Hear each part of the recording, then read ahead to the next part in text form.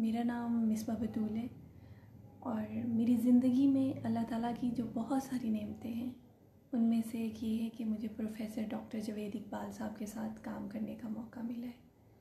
एक उस्ताद, एक मेंटोर और एक बुज़ुर्ग की हैसियत से उनका वजूद हमारे लिए किसी रहमत से कम नहीं है। बहुत सारे लोग उनके बारे में हमसे पूछते हैं। ईमेल, व्हाट्सएप, फेसबुक, इतने सारे मैसेजेस आते हैं हमारे लिए पॉसिबल नहीं है कि हम उन सबको रिस्पॉन्ड कर सकें। उन सब लोगों के लिए जो उनके बारे में जानना चाहते हैं, मैं एक वीडियो अपलोड कर रही हूँ, जो कि डॉक्टर साहब की बायोग्राफी है। इन्फो एयर वर्ल्ड चैनल ने वो बनाई है, मैं उनकी भी बहुत मशहूर हूँ। और मैं उम्मीद करती हूँ कि वो सब लोग जो सर के बारे में जानना चाहते हैं, ये उन्हें पसंद आएगी। Thank you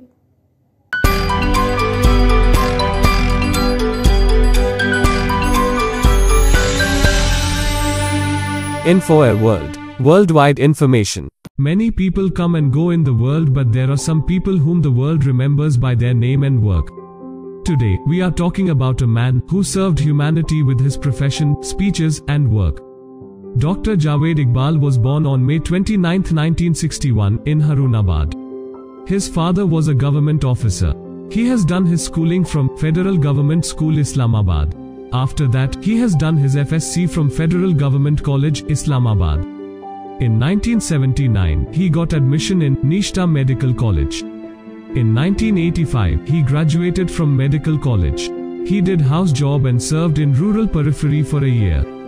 He got the option to work in the army or rural area, so he preferred rural areas to treat the poor people and get to know more about the conditions and medical facilities of rural areas.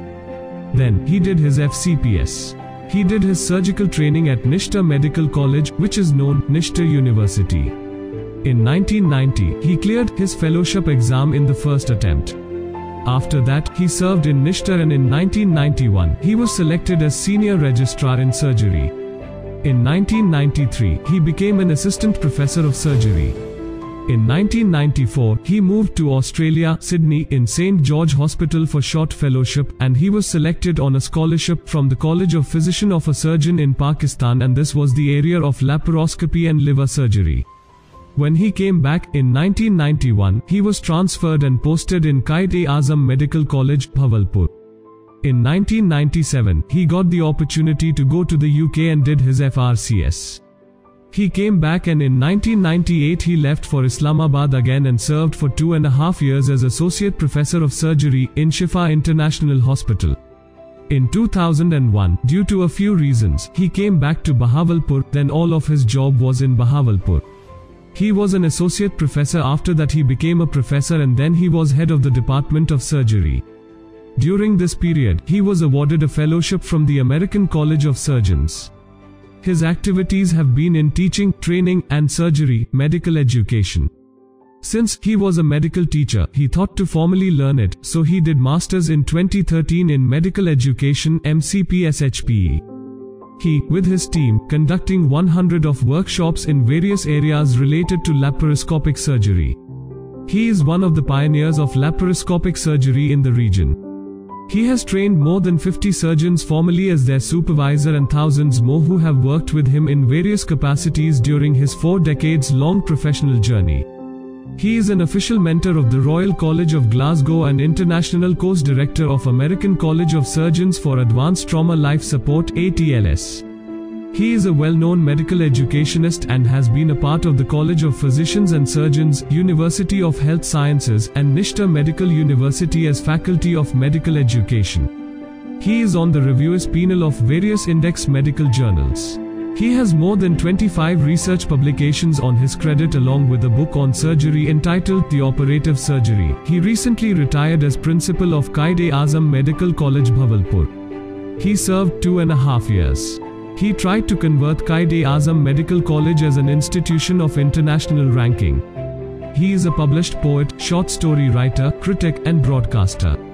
His current areas of effort are teaching and training of soft skills at various national and international fora.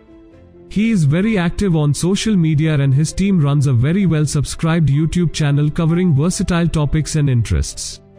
He is being invited on national and international TV shows for his intellectual contribution.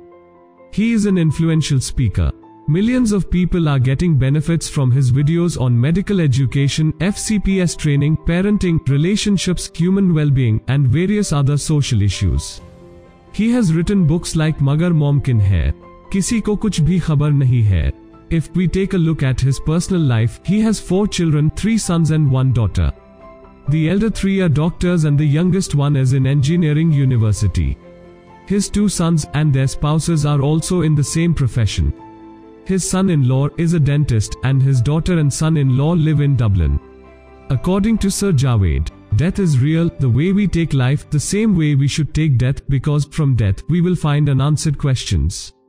Sir Javed is the star of Pakistan, who has illuminated a candle in the hearts of people whose light is becoming associated with the guiding principles of living a life.